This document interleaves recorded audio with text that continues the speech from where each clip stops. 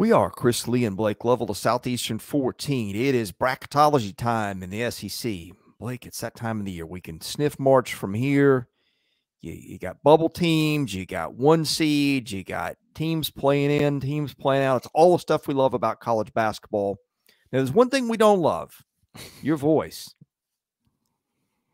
Your voice is kind of on the bubble as we uh we do this show today. The gladiator. I, am hoping it's right. We're hoping your voice ends the the episode is is bubble in and not bubble out. No. Uh, and, and, if it's bubble out, I don't know what we're gonna do. But it's last four out right now. So it is last four out. We're gonna see if we can play your way into the into the field while mm. we're doing this. And so for for that reason, all kidding aside, we are going to put Blake, uh, to use another sports term, on a on a pitch count a little bit. Um, you need me for the later innings. Change, man. You know, you, you, you might have a guy on innings. a. So we, we, do, but you may have a guy on a you know a pitch count of ninety, and he's throwing a perfect game. Mm. Like, hey, the, the last fastball was ninety seven. We can we can stretch this out another inning or two. So that's where we are. Yeah. All right, you've heard enough of my rambling. Uh, with that, we are going to pick our spots here we're going to start at the top. And look, Alabama was a one seed in Joe Lunardi's bracket earlier in the week. If Alabama had lost to South Carolina, then maybe would have had a discussion as to where Alabama drops the seed line. Uh, that did not happen. So we're just going to kind of move on over Alabama because the Crimson Tide will still be on the one seed line and move down to the next team in the bracket and that's Tennessee, which was on Lunardi's three line. We have talked about the Vols metrics all year. We also try to pay attention to what happens around other teams. And one thing happened last night, a note, Blake. Virginia and Boston College, which are both in that three seed range, according to Lunardi's earlier bracketology early in the week. Virginia lost in Boston College last night. Now, I know Tennessee has been on a, a skid of late, and let me just give you the metrics for the Vols. The Vols are in the predictive computers. KPI 9, strength of resume 15. That is a numerical measure of where Tennessee's resume might stand as best that can be done. That averages out to 12, which will put Tennessee very much as a low three seed. You, you could see the Vols on the four in some next brackets. Predictive computers like Tennessee, we have joked all year about how KenPom doesn't move the Vols down no matter what. Well, you're starting to see some movement there. BPI's got Tennessee at three. KenPom has got Tennessee at six. Sagarin's got Tennessee at six. I think as of a week ago, the Vols were two in both those. So the predictive computers are starting to like Tennessee less as the losses pile up.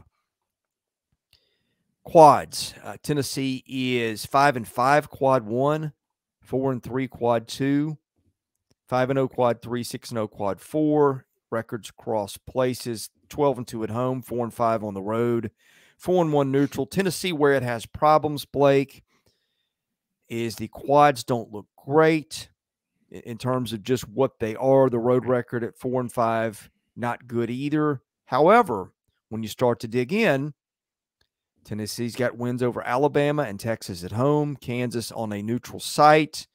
Again, those, those are three teams you could all see as ones on Selection Sunday.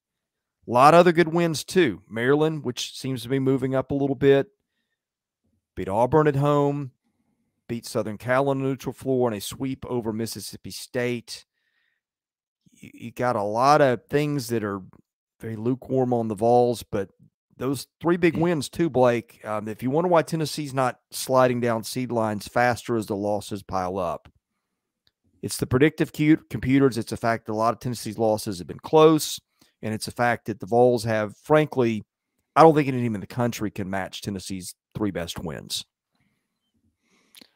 Yeah, that sounds about right. Um, you know, we always joke about the Tennessee staying at three in the net rankings and all that, but I mean, like we said, if you just look at the net scoring margin, all the efficiency numbers, all that stuff matters. So, but yeah, I mean, I think Tennessee is, I mean, what would you say at worst? They play South Carolina at home, Arkansas at home, at Auburn. I think they're finishing at least two and one. Um, and with that, I, I think that's going to lock up a three seed. Um, that's just my opinion. I don't know if it holds, but like you said, it's the good wins they have. Some of their losses are very close, and that, that will matter, as we talked about before. Um, so, yeah, I, I don't really see Tennessee falling below the protected seed line or seed range by any means, unless, again, you just play the ultimate doomsday scenario of them losing to South Carolina, something like that. I just, I think they're going to be fine. So, yeah, once you start banking a lot of great resume traits the last week of February, it's very hard to slide down. I mean, wor- worst like if if everything went complete disaster, which I'm not predicting, Tennessee would be what a, a five still, Blake. Yeah, and and let me just quickly before I forget this, like remember too, I think some people, and I, I've probably been guilty of this before, the anticipation of thinking that one result is going to change one game is one game result is going to change what you've done the previous 28 games, right? And like for Tennessee, it's that kind of scenario where we talk about teams kind of doing their work up front. Well, Tennessee did a lot of their work up front. And yeah, they're struggling a bit, but like they put themselves in a position where even with the struggling, they're they're still in a very fine spot. So I, know it's easy to do that, especially if you know it's just a, a win or a loss that comes out of nowhere. But really, you know, it's not like I mean the Vanderbilt loss, I guess, is bad now in a sense that you know Vanderbilt is out of the tournament picture at this moment. We'll get to them, I'm sure, at the end. But otherwise, like you know, they lose at home to, to Arkansas. That really doesn't change Tennessee's overall resume very much. Um, you know, so I think you have to keep that in mind too. One game result is not just going to immediately wipe out the previous 28 games. And especially as you just said, when you get to this point in the season where there's only three or something games left. So well, yeah, I mean, th- there's nothing that's just really bad on Tennessee's resume. It's that that you would have liked to seen the quad one and two records be a little better, but as you dig into those, I mean, look, there are two teams probably in front of Tennessee. Uh, well, depending on what you do with Virginia, that have got a quad three or four loss. Quad three in particular, Houston's got one that came to Temple, and Virginia picked one up at Boston College last night. So. Uh, there's not a lot of just really bad stuff on Tennessee's resume. Tennessee's got some great high end wins, some some nice kind of in the middle wins against other teams that are going to the tournament. And really, once you get to this point, once you bank so much in those top three or four seed lines, it's really hard to to move up or down a whole lot. So now you can't say that about the rest of the SEC teams. Let's see the next team that Joe Lunardi had, and and I will dig in a little bit more on these in the coming days, uh, and probably offer some of my own thoughts as I'm able to do the research and do it. The next two teams Lunardi had in the SEC are A&M and Kentucky, which frankly are moving pretty close to lock status. To me, a lock, Blake, is when you can lose out, lose your remaining games. Yeah and lose your first round conference tournament game. I, I don't know if is is either team there yet to where A and Kentucky could both go zero oh and four. I, I don't know that they're there yet, but they're awfully close. Is the point I'm trying to make? Yeah, they're very close. Um, because again, that's the doomsday scenario we talk about every year at this time. And if you want to look at the schedules, A and M's at Mississippi State, quad one loss, right? At Ole Miss, that's a what probably quad three, something like that, maybe more. Um, at this point, Alabama at home, that's a quad one loss. So I, I think A and M is, like you said, you, you don't want to put it in the because I've said this to people too the last couple days. We can't tell you who they're going to play in the, the SEC tournament right now. So it's like we can't give you that scenario. We can only give you the next three games, and that's their next three games. Kentucky's final three are home against Auburn, home against Vanderbilt at Arkansas. I don't think either team's losing out, so I don't think it matters. But if they did, I still think they would probably be fine. but again, I don't, I don't, I wouldn't, wouldn't root for that if I was either team. But um, they they have moved closer to the lock status than any other SEC teams we've seen this season, right? Because we've always talked about Alabama and Tennessee, and now I think we finally got a couple that are that are going to be just fine and fully locked in. Um, I think again, barring just the doomsday scenario, perhaps. All right, I, have got a sheet that I use, and, and I sent Blake a copy, um, and hopefully he's not dizzy in looking at it. But it's got about everything on there because I like to to move teams up and compare them line to line. I also like to go beyond the quads and see what the wins were against teams that got a chance to make the tournament. Sometimes you'll get a you know a, a quad one win that was on the road against 75 net. It's a team that isn't going to sniff the tournament. Sometimes a quad two win will be against the team that's 31 in the net, and it, it's it's home. It's a it's a great win.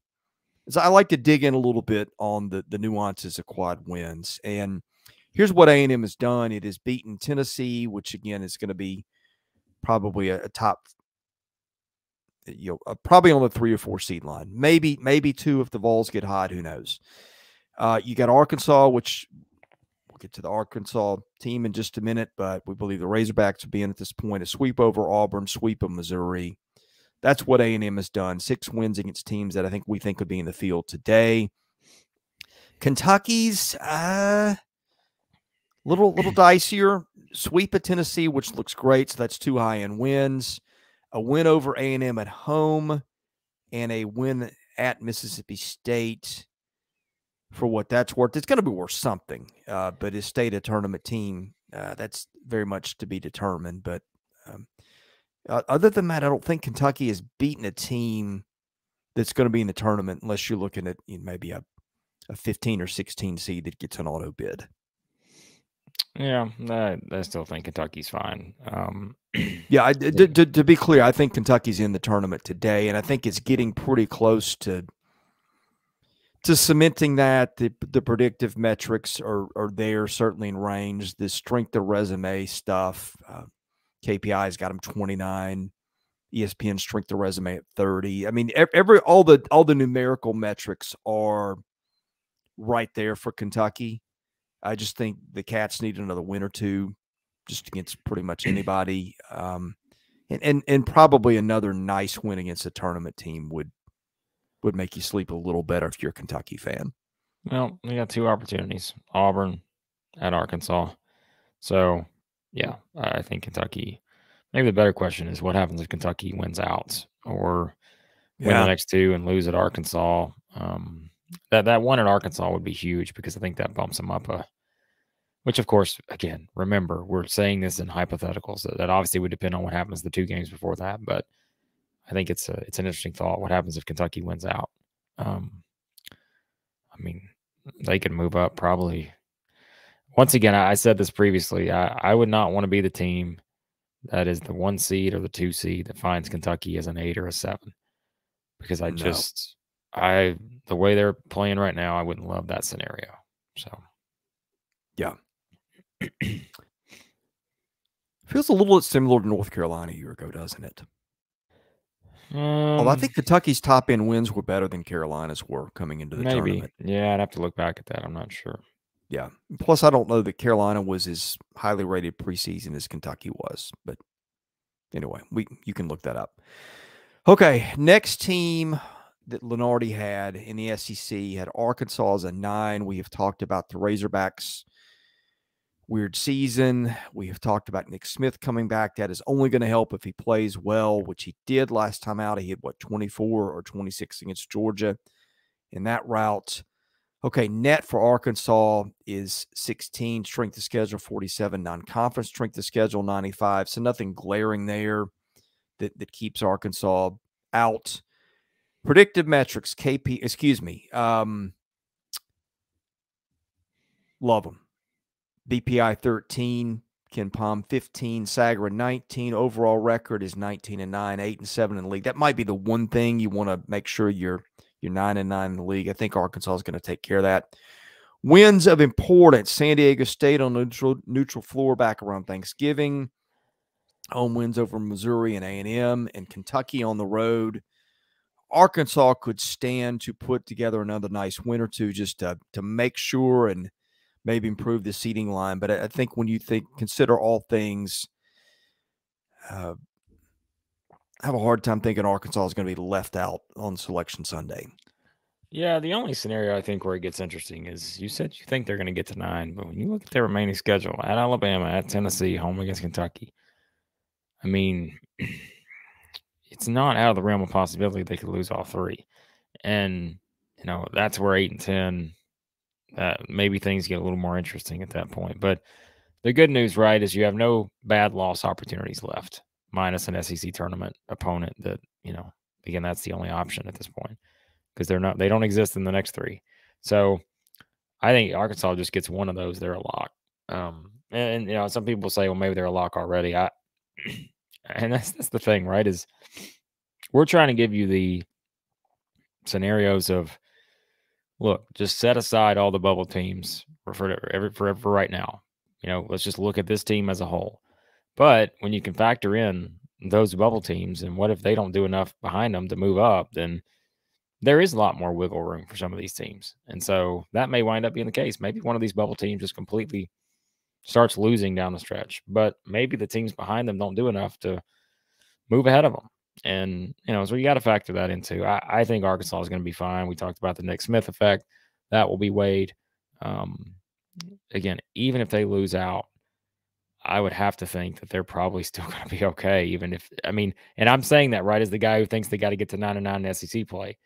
But I think what Arkansas has going for them that a Mississippi State does not, the Nick Smith thing is, we said that's going to be factored in. Even though he's back for these last three, you can use that for some of the other losses, right? And so I think Arkansas' situation is a lot more interesting if they go eight and ten versus Mississippi State going eight and ten. Um, which as we hear what when I say, yeah, eight and ten, because it's it's a lot more, you know, there's a different storyline in play. So, but if I was Arkansas and I wanted to feel completely safe, I would win one of these final three, which I think they'll have a chance to do the way they're playing. But um, it will not be easy. And so, yeah, I, I, think the Hogs will. I think the Hogs will be loading up the Muss Bus for another trip into the the madness. So, yeah, obviously Alabama could lose out and still make it you could say the same thing about Tennessee. I think Tennessee could go 0 for 3 and then lose one in well, the yeah, SEC tournament. Vols Vols still in. And and this is here's what I'm this is my definition of a lock. Okay. A lock is when you can face right. plant on every game left on your schedule and still make it. I think that I think Arkansas is there. I, I really do. The more I look at it, I think they're there. Unless probably unless it's losing to a non NCAA tournament team in the first round of the SEC tournament. Yeah. Because look at their look at the the metrics. You said it yesterday. The computers love Arkansas. Love them. And the computers love them. Nick Smith hasn't played a lot. Now that he's back, they clearly look like a different team. At least the games he's played, majority of the games, you know, the majority of the minutes. And I think that is going to factor in. So I Arkansas is is there. I, I just I said I for me, you know what I'm looking at. And I know people say, well, the committee says they don't factor in the conference record. I'm not buying it. Not not in some of these instances. This year, perhaps for Arkansas, because they have a unique situation. But I think they're there because of how much the computers love them. Here's the way I'm going to put it. Okay, if you want to argue with me that that A and M, Kentucky, Arkansas are in already, no matter what, I'm not going to tell you with 100% certainty that you're wrong. I think you give any of those three teams a win against anybody, and and I'm I mean, boring something really crazy, right? Because you you're always affected by other teams. And it's not like the field's going to be named today, and any of these teams are going to be a five or something like that. But what I would say is, I think A&M, Kentucky, Arkansas beat anybody at any time from here on out in the regular season, and and or maybe just one in the tournament. And I I don't see any of those getting left out. That is that is my play it safe take. Uh, I'm not saying that that all three of those teams couldn't lose out and still get in, but I'm just saying my degree of confidence, just to use a little caution here, say I, am just going to say any of those teams win one more in the regular season, and, and it's case closed. I'm with you. Okay, Missouri, Blake. I, I think Missouri's probably in that category too, mm. just because of mm. what it is banked. I think you're right. You're but- not you're not as convinced. But yeah, if okay. they're playing, Missouri has a different schedule, and that's why I worry a little bit for Missouri because they have three opportunities to completely implode their NCAA tournament Yeah. resume, and that's my only hesitation with saying that with Missouri is they're playing Georgia, LSU, Ole Miss, and as of right now, those are all three bad losses. If you lose those games, any of them. And I think you're right. that That's why the Mississippi State game was so huge. But if you hear the hesitation, for me, it's because that it is if the doomsday scenario for Missouri is missing the tournament based on a an inexplicable losing streak to three of the bottom four teams or five teams in the SEC. And so they don't have the luxury I think the other teams have. But like you said, if they win one of those three, I think they're still okay. But the the computers don't love Missouri, and that's the opposite with Arkansas. Is Right. The computers are not in love with Missouri, and so that's the only hesitation I would have. Well, from my experience, the NCA almost always leans on the side of what you have banked. Yeah. And banking big wins means more than anything. And my goodness, Missouri has banked a bunch of them at Tennessee, Iowa State, Arkansas, Kentucky at home, Mississippi State at home for that's worth, and Illinois on a neutral floor. That is why I think maybe maybe Missouri might be in that category too. One more win, and I, I think uh, certainly two more. Missouri can feel great about it. I'm looking up the quads because I think Georgia now. Okay, here here is a potential problem for LSU. We've talked about how Missouri's got a really clean sheet. Okay, no losses outside of quad one, where the Tigers are five and eight. Lose at Georgia, lose at LSU. Those are both quad three losses. Now, Missouri, I think, could, with what it is banked, probably survive one of those.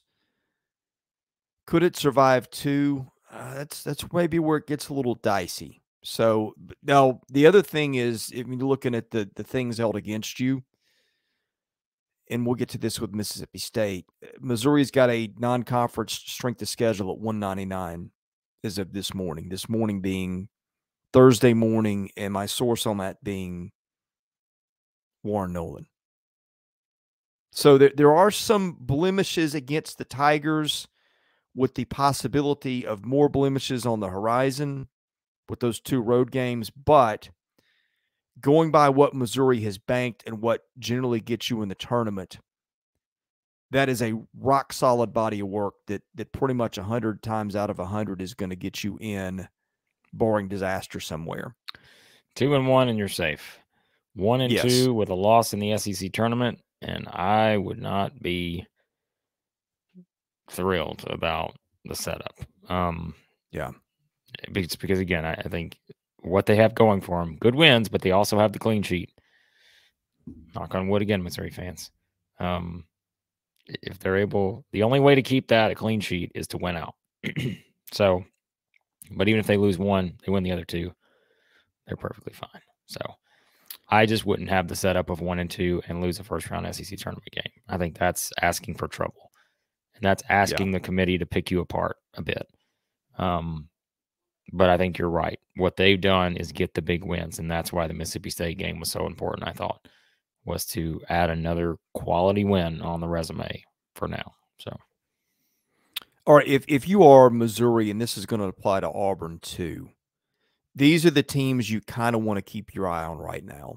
Pitt out of the ACC, Rutgers out of the Big Ten, Florida Atlantic out of Conference USA, which is basing its success on what a, a 23 and, and 3 record, which also, by the way, includes a loss, I believe, at Ole Miss. So those are teams that um, you, you're kind of a competition with. If, if someone else wins Conference USA, that could be bad for Missouri or Auburn if they are on the bubble. Also, watch the Mountain West. You got a lot of Mountain West teams that are just kind of there.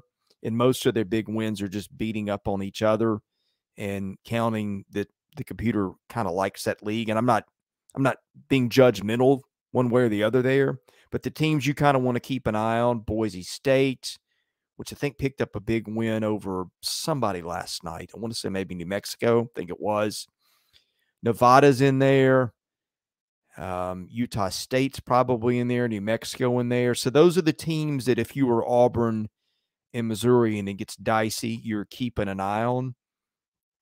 Um, now you can, of course, take care of business and, and take it out of the committee's hands more or less. We've outlined the path for Missouri. Uh, Auburn, boy, the metrics on the Tigers net 33. So Auburn dropped a little bit by beating Ole Miss at home. And again, part of the reason Auburn dropped it because that was a close game. KPI Auburn at 23, strength of resume at 38. So Auburn starting to maybe drop there a little bit. Predictives Auburn starting to drop just just a hair, a spot or two. 21, 22, and 20 between BPI KenPom, and Sagarin. Again, those correlate pretty well with the net. Auburn, 13 and 2 at home, 4 and 6 on the road, 2 and 1 neutral. Here's the problem quad 1, 2 and 7, quad 2, 6 and 1. Auburn now has a quad 3 loss at 8 and 1, and quad 4 is 3 0. I, th- I think that's where Auburn actually has, is picked up a little bit in the computers where you're like, how do they get there? It doesn't seem like it what they've done adds up to what that net number is, but I think only playing three games against quad four teams and not having lost any of those is, is one of those things that you may not pick up on immediately that's helping Auburn. Auburn's wins. It's got wins over Arkansas and Missouri at home. We just talked about those teams in probably that eight to 10 range. A win over Northwestern on a neutral floor, Northwestern in that five or six range. I don't know that Northwestern is really that strong uh, but the resume is there, and that's what the committee is going to consider. So that Northwestern win, which I think was 44 to 43 on neutral floor, that's going to help Auburn. And then a win over Mississippi State at home is, is helping a little bit. State a tournament team. I don't know. We'll get to that in a minute. But Auburn, you've been calling this a while. Tigers have got some work to do. Uh, yeah, I mean, I look, Auburn's projected to lose every remaining game that they have. Now they wouldn't be bad losses because they beat Kentucky on the road, Alabama on the road, and Tennessee at home.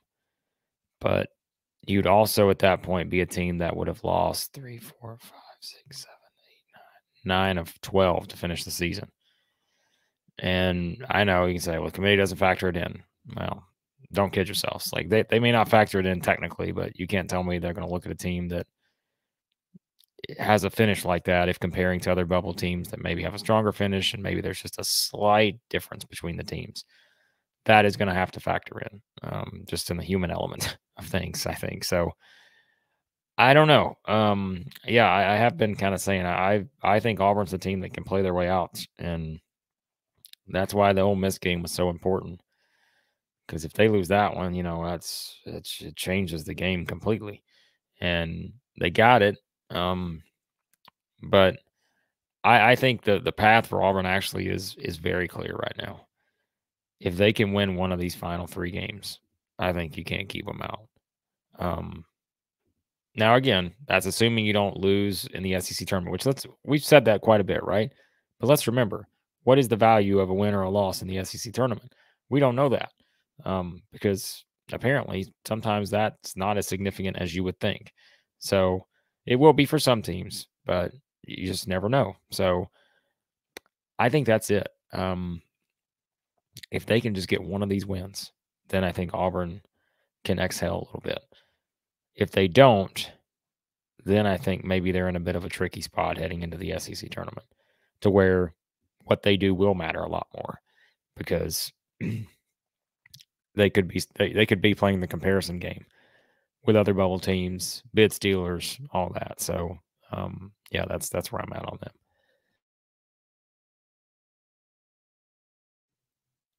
All right, next up, Mississippi State. Lunardi had State as its last team in. I think when he did his bracketology on what was it Tuesday? State's metrics 42 in the net, 40 strength of schedule, 225 non conference strength of schedule. Um, I'm going to put an asterisk to that one and come back to it. The strength of resume computers have, have got state as a bubble team KPI at 53, strength of resume on the ESPN 48. The predictives like state a little better 37 BPI, 41 KenPom, 43 Jeff Sagarin.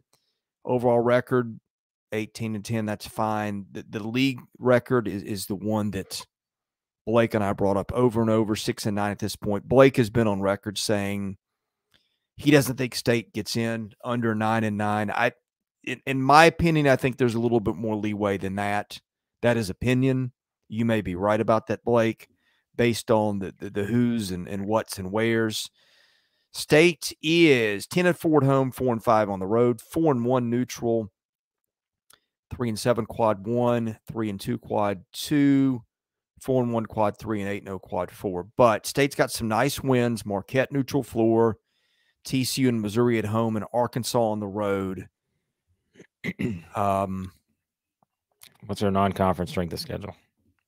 Well, that's that's the problem, but th- but that also comes with the hey, wait a minute. Um, Marquette is a you know going to be on the four seed line or better probably if that's picked today. TCU is going to be a top, you know, six uh, uh, you know on the six line or probably or higher. And I know that State won that game without Miles. I get it. How much is the committee going to dig in there? I don't know. I'm, I'm just saying, I'm, state is bank, state has banked banked some nice things. I mean, yeah, I guess.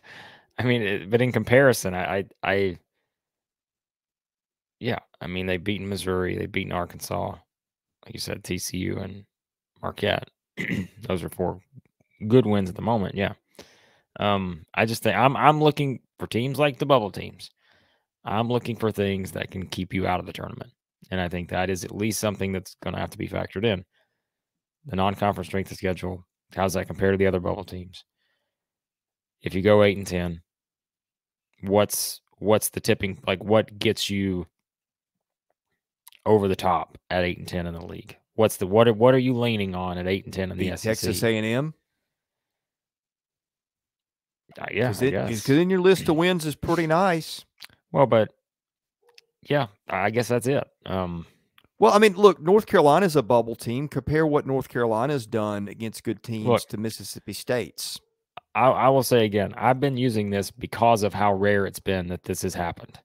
It's only happened once since expansion, and I don't, I couldn't tell you before that for a team to have a losing record in the SEC and make the NCAA tournament. Alabama did that in 2000, whatever, 17, 18, on a five game losing streak to end the season. Um, but they had some other things in their favor. And for Mississippi State, it is. It's picking apart what is not in your favor. I think those are a couple things you can point out. Like you said, what is in your favor? Having good wins. Um, and yes, a win over A and M can reset things a bit because because that I think that's where you have to play the game Mississippi State. If they go eight and ten and finish with a win over A and M, all right, well, that's maybe a little bit different. And maybe that is something you can lean on as our just our quality wins. But if you go eight and ten with wins over South Carolina and Vanderbilt and lose to A&M, well, what are they hanging their hat on outside of just those four wins? And that's what I don't know. And so Mississippi State, I think, will be a team that goes in the SEC tournament one way or the other, needing to do something and either avoid a bad loss, get a good win.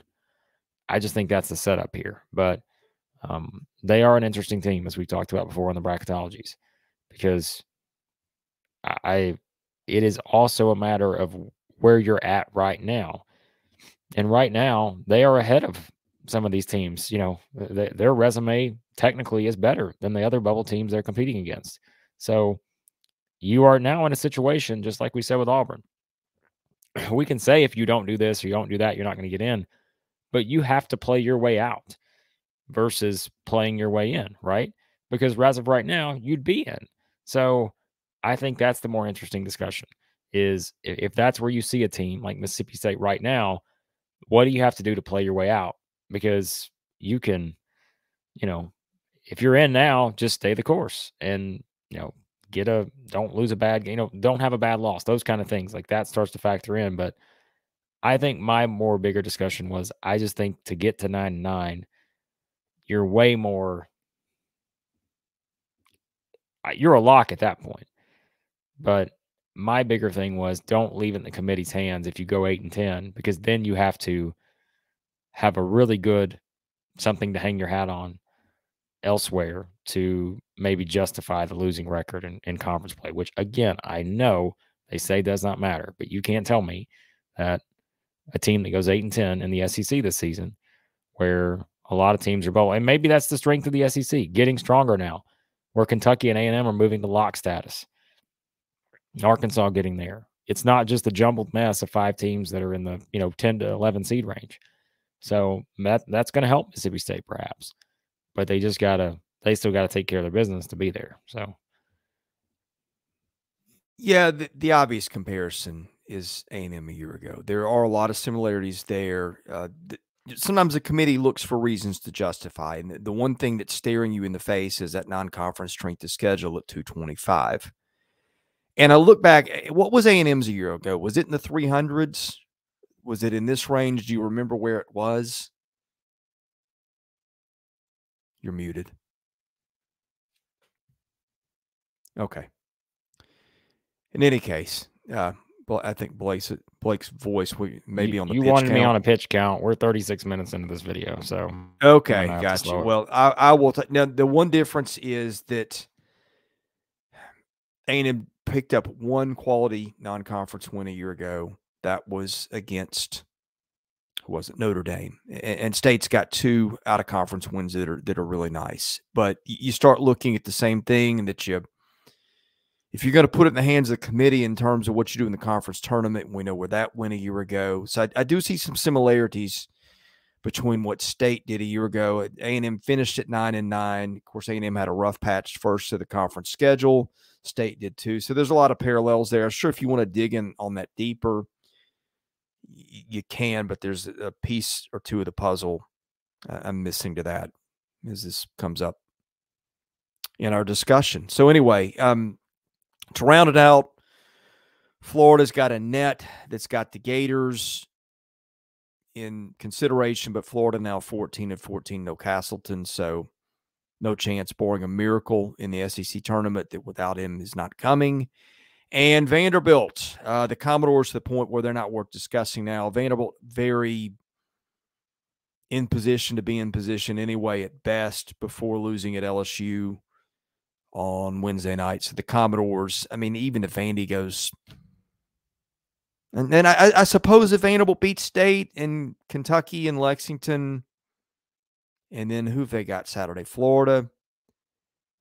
Maybe it's back on the very, very outer edges of the fringe again, where we can talk about it. But but boring that, um, I, I think Vandy's done anyway, and certainly one more regular season loss anywhere would do it, Blake.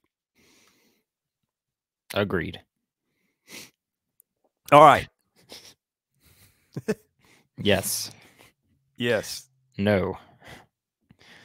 all I'm saying. Predictions are going to be fun. Cue. Predictions are going to be fun. Cue. Blake, who do you have in um, Mississippi State versus Texas A&M? Um, I will take Team A. And just a sense of silence. So, do you know sign language? My goodness. All right. That's about where we are. All right. I'm not going to let you end it. I'm going to conserve your voice. I'm just going to say we appreciate you watching. The best way to get our content is hit the subscribe button. That costs you nothing. If you like the video, hit the like button. That does help us get noticed a little bit. We'll have predictions coming up. We'll have some baseball stuff coming up. Um, some of that is going to depend on how much voice Blake has left as to whether we do a preview or whether we just do a recap of weekend stuff. But either way, we are, my goodness, this is like 880 central this time of the year between baseball and basketball. And not just basketball in the conference, but watching at other places to see how that impacts the teams we cover. Uh, Blaine's got football locked down for us. But anyway, if you like your major three sports, and Blake is also doing a Tennessee women's basketball podcast to boot because God knows we don't have enough stuff going on here. In any case, thank you for watching us at. Southeastern 14. Yeah, that's, that's just what you need. Just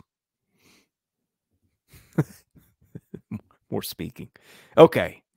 Thanks for watching. He's Blake Lovell. I'm Chris Lee. We're Southeastern 14. We'll see you soon.